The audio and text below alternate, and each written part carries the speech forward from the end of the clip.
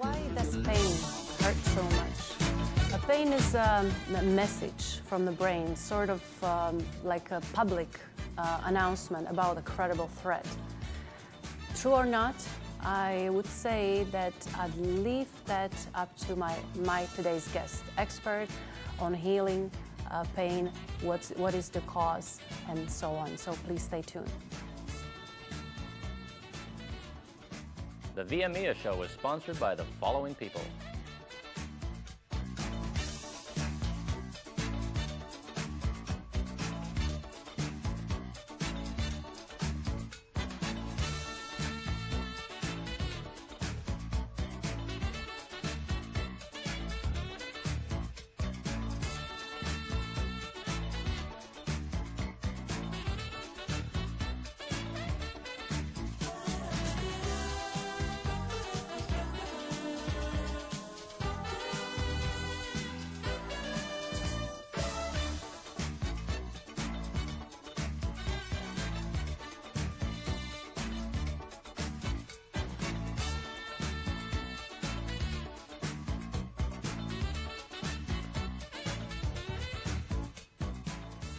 Who could be more competent person to talk about pain and seeing people in a pain than a chiropractor? Chiropractor, sport injury specialist, specialist Dr. Gordon Paterson. Welcome and thank you. Thank, Thank you. you. very much for uh, coming and joining us in this beautiful uh, summer day. And uh, to start with, maybe uh, on the top of the, com- uh, the conversation today and information today from Dr. Paterson, we can also visit his website, which is www.patersonchiropractic.com. I think I got it right this Yeah, time. thank huh? As long as you spell Paterson with one T, you should be on the right page.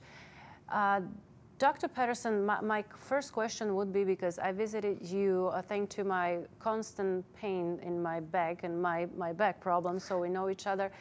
Uh, your practice and you as a, as a doctor, as a chiropract- chiropractor, uh, you kind of standing out uh, when, I, when I look at the whole group of chiropractors.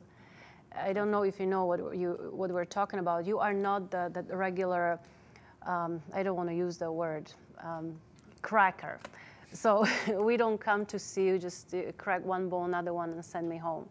There was there were quite a few uh, exercises and pulling and all these things. So how come you are so much standing out? How come you are so different? What is well, Well, thank you. Um, I don't really think I'm that different from most chiropractors, but what I do in, in my practice incorporates a lot of muscle techniques, whether it be stretching, massage, uh, myofascial release techniques, uh, exercises to help stabilize once some of the mechanical issues have been cleared via chiropractic adjustments. And I just try to get the patient involved in their own recovery because they're often the ones who are responsible for being there. They- and so we want to learn from that negative experience and help turn it around and educate, but you know, go through a, a thorough assessment and a, and a thorough treatment uh, protocol that, that incorporates the entire machinery of the body from, from literally head to toe. the patient has to uh, have do his homework, obviously, right? So as well for after visiting re- you. for best results. Yeah. You know, the more involvement on the patient's part, whether it be uh, following through with their treatment first and foremost, but uh, second of all, following through with recommendations, do's and don'ts, and Mm-hmm. and things as they progress along. To, to, to further move forward and, and I don't just treat people in pain but I, I, I also focus on athletes who are all about getting ultimate performance and that may Mm-hmm. be shaving half a second off of their time or or being able to go longer, faster, harder, Yeah. or So hit a ball straighter. so adjusting back and, and solving the back issues. That's not the only focus you have. That's not the only thing you, you do, which we will get into a little later. I'm sure the decoration on our ta- table, it's proving that we are not going to be just uh, having a regular conversation, a regular uh, doctor conversation. It's going to be a lot of a lot of demonstration uh, um, and a description from Dr. Paterson. I, I not only because I have uh, back issues, but I know it from you. I know it from a lot of people. At least half of population they suffer back problems, don't they? Actually, uh, up to 80% of North Americans at one time will have a significant back episode. Will have? Will have. So we're not there it's, yet. It's it's pretty it's pretty well. It, it's pretty common. Wow. You hear about back pain. You don't have to watch uh, TV for very long to see how Mm-hmm. many drugs are thrown in that direction. So we, we know it exists, and it is one of the uh, largest, uh, one of the main causes of, of people not being able to go to work, uh, morbidity. You know, people having to phone in and not being able to answer the call. Uh, Do you think it's changing to worse? I mean, it's getting worse from year to year. I'm concerned about our younger population not getting the physical exercise and, and, and growing up on, on screens. It's, it's not the way I grew up, and uh, I'm a little old fashioned, but um, a little concerned about all that time being sort of stuck in one position, whether it be in front of a laptop, a Game Boy, texting, uh, and, and, and just not being involved in, in a lot of funding being lost for whether it be community centers or for physical education programs. I think the foundation at a young age, I'm concerned that that's not being sort of set like it was maybe 20, 30 years ago. Yeah, so this might be a little uh, eye opener for uh, for parents as well. Uh, yeah, you're right. We were spending more time outside, a lot of physical activities, a lot of uh, a lot of games played outside, not much inside. The technology is not only helping us, also Double-edged sword, that's right. for sure. Yeah. Yeah, I, I know. Like I know that my grandparents are working in the field all the time. I don't think that they've ever had back problems. They probably eat well too. So yeah, that was that would be another thing. Like what we eat, uh, how we live, that affects not general health only, but where you definitely the sphere where you're working, spine, back, isn't it right? Like it's that just our lifestyle completely. Absolutely. I'm, I'm sure your grandparents weren't eating synthetic, artificial, processed food with lots of names you can't you can't read, you can't you can't pronounce. Yeah. And, and, and that's just the, the fact. That's another thing that concerns the, the younger generations uh, behind us is is what kind of nutrition are they getting? What is in their food? What, what, what else is in their food? You know. I heard something from you I never heard before, and it completely makes sense. But I really like you said that why do we heal ourselves with pills or vita- even vitamins if we can heal ourselves with the food? Well, Hi- Hippocrates, the father of, of medicine, uh, he said, let food be thy medicine. And obviously, good nutrition, uh, good hydration, the, the proper building blocks, you, you put in good things, chances are you're going to get out good things. You put in things you shouldn't be putting into your body, things that are toxic, things that are artificial, things that, that aren't digestible. Um, i- it's hard for your body to work at a high level, stay healthy, and, and not uh, fall peril to a lot of these degenerative diseases, whether that be of, of, of mind, body, or spirit. Yeah. Um, I'm just wondering, the chiropractic care, does it help, uh, but it o- only cures us temporarily? Well, that's that's a it's a good a good question. You know, uh, it, it's hard to to have a corrective treatment and then go see you. That's it. You should be good the rest of your life. You're probably you know, but life happens. People trip, fall down the stairs, or slip on some ice, or all of a sudden their stress level goes through the roof. They're not sleeping very well, or they find themselves bedridden, or or just It's just because I always thought it's just a temporary adjustment. It's oh. just because people usually say as soon as you start to see a chiropractor, you will never get rid of him. Well, that's sort of the same approach with you know dentistry and medicine. We, we, we do want to stay healthy. We do want to go in for checkups. We want to make sure everything is, is, is well, and the ounce of prevention is worth a pound of cure is no different in chiropractic. We want to kind of keep a, a healthy skeletal system. We want to be able to get out of a chair or get in and out of our car, or Yeah. uh, you know, without pain. We want to be able to to wake up without pain, not wake up because of pain. Do you remember, um, it was a little over two years when I came first time to your clinic and you treated me for something, I forgot the name. It was called your sacroiliac joint. You and see, that that's why I don't remember. part of what makes up your pelvis. It's what you're sitting on right now, and very much like our body's foundation. And and when your pelvis, for whatever reason, due to a fall or an injury, is not sort of mechanically balanced and working in a in a, in a, in, in a mechanically sound way, it's like having a rock in your shoe. In this case, your hip. So do you want to tell me the way I'm sitting here is not very healthy? I wouldn't want to be sitting like that all day long, but I'm, I'm, I'm sure, you know, sitting kind of, you know, balanced, but, Yeah. but I, I'm not going to tell you that's unhealthy or the cause of your problems, but I'll tell you, if you told me it hurt when you sat like that, No, it doesn't. I- It's I very comfortable. I'd recommend that you probably stop doing that. No, it's very comfortable. It's just later on when I sit, like you said, for a whole day. Yeah. Well, we got to be careful about mechanical imbalances. We don't want to be sitting at a desk where we're like this all day. That's going to catch up with us. Yeah. You know, we want to be kind of square, you know, 90 degree angles. I can tell you're a chiropractor. I've never seen anybody in that chair sitting that way. Oh, thank you. so I, I should probably uh, I don't know if I could it's kind of deep but like we always especially women will always cross the leg and uh, I was told many times we should not be doing it the, the circulation and whatever and you were the first one you told me it's you, you never heard about things like that that it's not true so now come on the rest of the world I'd Wow. rather believe you because I was quite comfortable Okay. so uh, I think that we have a couple minutes for uh, before we go to break, and you said that there is a way that you can demonstrate, or maybe on some our uh, our staff, maybe our producer, Rick can come. Would you be able to show how Okay. you deal with uh, just Okay. some adjustment of the neck, or What, what most people come in with is, is, is obviously pain, and it could be in, in the neck. And in my practice, it could be the foot, the wrist, the elbow, the shoulder, or the lower back.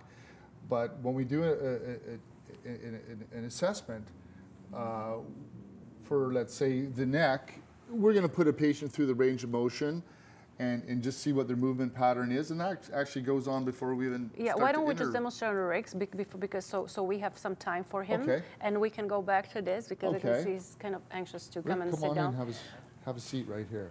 And he was the only one who was saying there's a lot of problems. So Well, Rick has told me that he has had a history of headaches, and on occasion he has trouble turning his neck, and and, and typically that's going to lead to some some issues and some muscle tension. And most chiropractors, we're going to come on in there, and we're gonna we're gonna find a spot like that that gets Rick's attention, and and it, we can feel that because that bone's just not moving. There's a lot of muscle tension around that. That would be the rock in the shoe for Rick right there.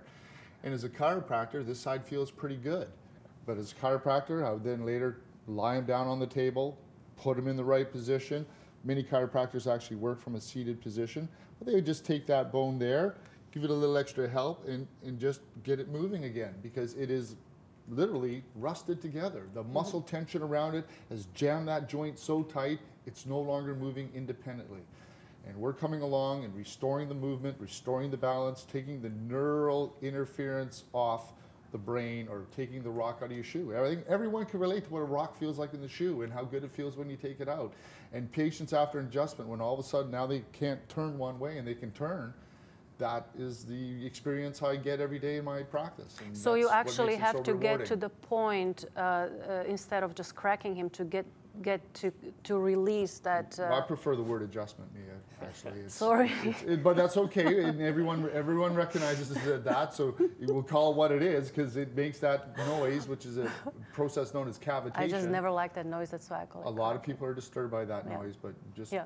nothing is being broken, nothing is being damaged. Yeah. It's it's just a byproduct of. Of, of, of a procedure that is to restore movement where movement is lacking. And why could I feel that on, on Rick? Because that spot there wasn't Yeah. moving. And so Yeah. that's what us chiropractors are trained to do is to find those spots and, and, and, and, and treat them. Yeah, well, that was for now, but we are going to be back right after the short break with uh, Dr. Gordon Paterson. Stay tuned. The ViaMia show is sponsored by the following people.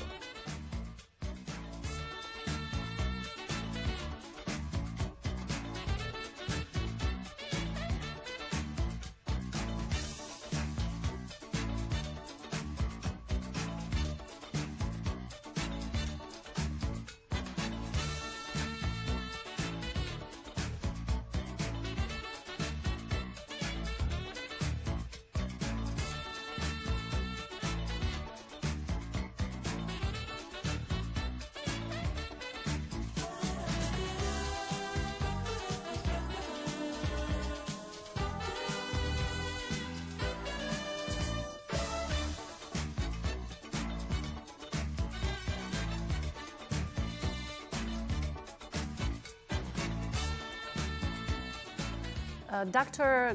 Gordon Paterson, chiropractic uh, care, uh, that's what he's uh, specializing on, and he's also sport injury, injury specialist.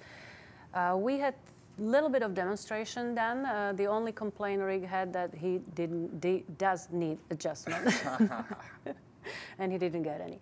But that was that was just for you, for everybody to to know what's happening to his uh, office, uh, just a little bit, just there was a sample.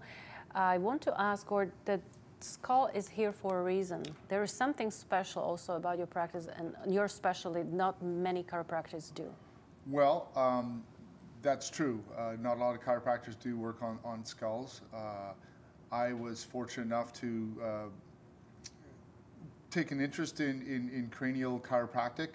Uh, there's a, a, man named Dr. Roger Turner uh, excellent chiropractor and real innovator in, in the world of cranial treatment.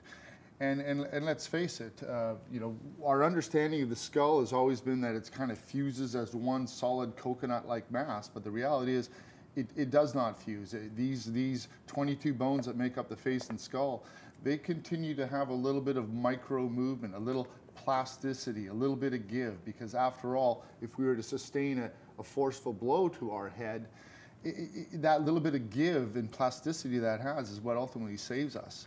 Uh, however, after having such an event, that can leave us with a lot of problems. A lot of problems, visual problems, hearing problems, uh, pain in the head problems, uh, balance issues, and, and, and, issues that, that affect deeper in, in, in, the function of our brain as, as well. And, and, and, and so and what intrigued you to, to deal with uh, these issues? Well, from, uh, from again a personal level, um, I have a daughter who has you know autism and and and looking into the world of, of kids with special needs. Uh, Dr. Turner, uh, he works with that population, and, and so I obviously would naturally was led to uh, a bit of an alternative form of chiropractic within our profession.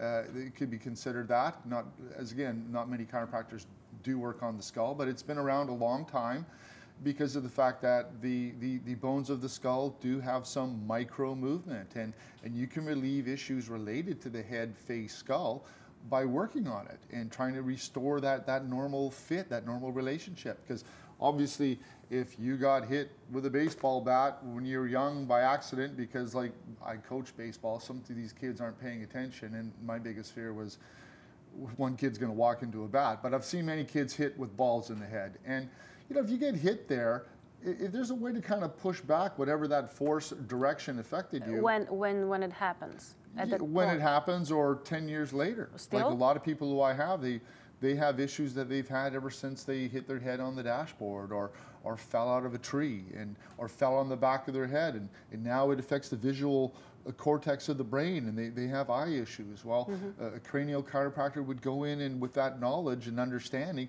work on that area, try to find where there's some issues. So you're trying to say what, what something happened uh, 10 years ago, it's not too late to come to see you? It's never too late.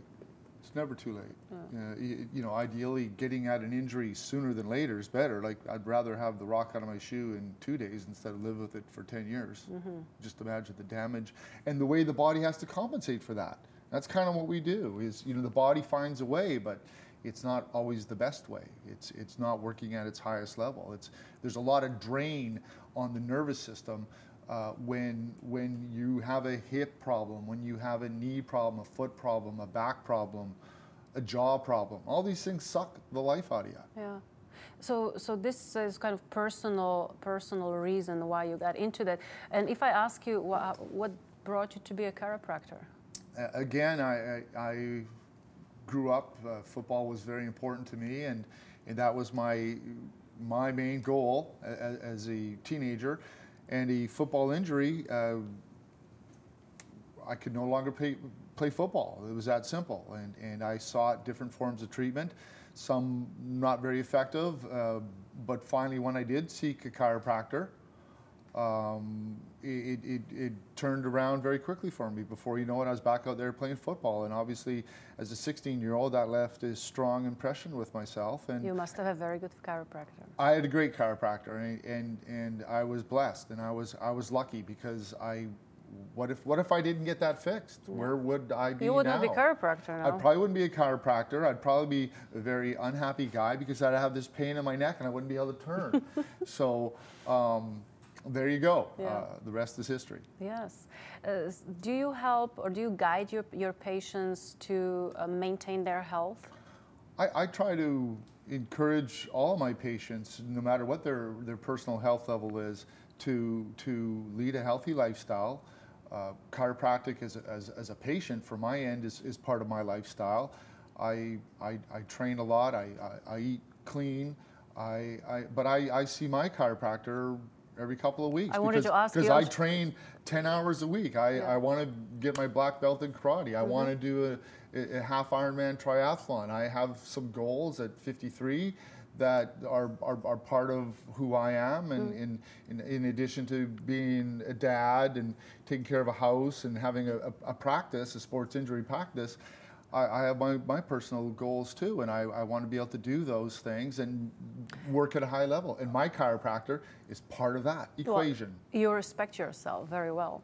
Well, so, thank you. Yeah, well, you would not uh, be living the way if you didn't. Yeah, that's what, when I sat down first time with you on the topic of the show, uh, I really uh, like the fact that I made that choice because we click very quickly about the lifestyle, about what to eat, not to eat, and um, there are people, they have their own lifestyle, but they still take the, so much of vitamins uh, because they think that that's substituting for whatever they're missing. And with you, uh, like I said, first time I learned there are also food that can heal us. Absolutely. So, so there don't have to be only supplements. No, Right. so- I, I do. I do myself supplement, but I do also try to eat uh, good quality food, organically grown, and sometimes not always organically grown, but locally grown and fresh Mm-hmm. and you know balanced. Aren't you worried sometimes that you that you're you're eating so perfect, clean that suddenly you step somewhere where maybe the- the food you won't find anymore what you're eating now, and your body will be in a shock. Like, what are you giving? me? Well, if I was to eat a chocolate bar right now and all the sugar in it, it'd probably make me feel nauseous. Really? Yeah. So how do you replace the sugar? Well, I I, I prefer uh, whole grains, you know, slow releasing, low glycemic index carbohydrates. Fruit? I eat a lot of apples. Mm-hmm. That's about it. And, and, and I do have like dates and raisins and things like that in my. Like, uh, do you talk to your patients ab- about this? Like, uh, if uh, because I know what the, we are in a very similar spirit in this way and energy. If I was a doctor, I probably would not make pharmaceutical industry very happy because I'm going after the neutral, natural stuff as well. Do you encourage your, your patients to, to stay with uh, the natural products as well? Well, it's a big part of being healthy, and and you know, for those people who need maybe weight control, that, that is going to come up. Okay, because you know I'm there to be. It's a stress I'm not there to be nice to them. I'm there to be good to them, and Yeah. if it needs to be addressed, it needs to be addressed. And if I could give them some examples or lead them in the direction or get a little help in that area, I- I can only do so much given in a, in a visit. But if they, I think they need to see a nutritionist or, or or do some reading or go in that direction or go, you know, find. You know, look, look a little, little closer. All the information's out there. I know you're very straightforward. I remember how hard time you were giving me about shoes I'm wearing. So I, I remember. I remember this. I just wouldn't go jogging in those or up hit big hills. Why not? You're you're okay like that though. you should be good. Yes, I'm okay right now. I'm sitting, and I'm even allowed to cross my legs. So See, I'm a pretty easy go, like I'm a you. pretty easy going guy. I don't I, I don't you know. uh, you said that you have a chiropractor. You you have to have your you can be your own chiropractor. No, you can't, Uh, unfortunately. Do you do you, uh, give him directions what to do, and you trust him? I trust him. You know, I give him feedback uh, from a patient perspective. It may be at a, perhaps a higher level than the average patient, but I, uh, you know, he, he, he takes pretty good care of me. We work together. I take care of him. He takes care of me. That's kind of a, a chiropractor's chiropractor relationship. Mm-hmm. You know, it's uh, it's a necessity. I think because our job is so physical, we're bending, we're lifting, we're helping, we're pushing, we're forcing. We too are subject to repetitive stress. Mm-hmm. And I went through again a personal situation where I was unable to work due to some some tendonitis issues in my elbows and and not going from being a professional to a patient and well when you're not making money and you're your insurance company's telling you what to do, you're kind of like their prisoner. And, and, I didn't like being there. And, and so finding a way to get back and staying back and staying healthy and being able to do a very physical, repetitive job with force and not injuring myself was a part of my learning experience. When you mentioned the tennis elbow, you know, I found a cure. Oh? I will share with you if you want. I had mine when I saw you last time, still pretty bad, turmeric. Oh, yes, a natural anti-inflammatory. That, that stuff is amazing. And over four months of uh, putting in water, everything's every, first thing in the morning, I'm 90% cured just with that didn't hear. do didn't do anything. So that was something again. I'm very very happy. And that was again somebody from uh, working in health food store suggested. You might need to see a chiropractor to get that last 10% to get you over, so it never comes I, back. I will make it that, that appointment with you. that might be something. You know, there's nothing wrong with you know being 100%. Why settle for 90? Oh no, because I really don't like to be perfect. I like the imperfections. So let me be 90%, okay. or maybe 110. Okay. So, you so prefer I, to be the diamond in the rough. I'll make you? I'll make that appointment with you. Okay, um, do you find, like you have your chiropractor, I'm sure you know other, other chiropractors, do you find that some of chiropractors practice um, is, can be more harmful than beneficial? No, no? I, I, I don't think, think, no. think so. I think we all have different approaches to what we do. Uh, we all have our, our different strengths within our profession, and there's within our profession quite a variety of approaches to get the same job done. Yeah. And, and I can't speak for all chiropractors. Yeah. No, but, I just want to know. know I know. I knew you're not going to say yes. There are some horrible ones. I, I expected that you're not going to say that. But Gord, you know what? You are um, not even not only great with giving knowledge and information. You're very entertaining, and I love that part. You have like your full package. And unfortunately, I, the only thing I can say is thank you. I really don't have much more time, but I will see you again. Uh, before I let Dr. Paterson go, I would like to have that quick announcement again, what I did a couple times before. Every Thursday, uh, 9 till 10, uh, you can uh, reach us listening to uh, online show. Um, when you go to viamia.net, click on um, uh, listen live. And if you click on the radio section, you can uh, find a little more information about upcoming radio shows that ViaMia is going to be offering to you, a viewer, on sort of counseling um, base. Before I let Dr. Parson go, he needs to do one more thing, what everybody else does here. And because I recently opened third season, I need your signature as, as well. I'll try to make it legible. at least one. So thank you very much, Dr. Paterson. Thank you for um, you. Thank you everybody for watching us. Thank you for watching Shaw TV.